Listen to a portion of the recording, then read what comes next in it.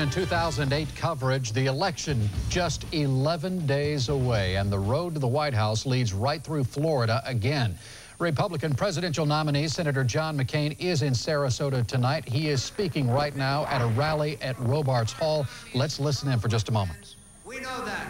We've lost over 700,000 jobs, and it's 300,000 jobs that have been created by small business. And my friends, whether it's Joe the plumber in Ohio or Gary the dentist in Altamonte Springs or Jesus the restaurant owner in Orlando or Christine the florist in Plant City or Bob the boat builder, builder and Tony the teacher, we shouldn't be taxing our small businesses more as Senator Obama wants to do. Senator John McCain, he spent this day on the I-4 corridor making stops in Ormond Beach, Altamonte Springs, Orlando, and Plant City. We're going to have much more on this speech that you're watching right now coming up tonight at 11 o'clock, so join us then. Polls show that undecided voters will decide this presidential race. According to the latest Mason-Dixon poll, Senator McCain has a one-point percentage lead over Senator Obama in Florida, but the check of the undecided voters really tells a different story. News Channel 8's Jackie Barron found some people who are among the 7% of the voters who have yet to make up their minds.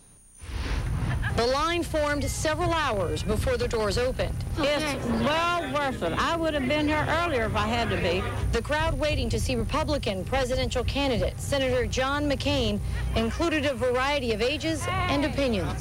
Since this is an election, you know, on either side, we can't miss. I, I had to come. I mean, I had class. I go to New College of Florida, but I had to come. Most here call McCain their candidate. In fact, I've already voted. Others not so certain. Michelle Freitas lives in a split household. Her on one side, her mother on the other, and her father on the fence.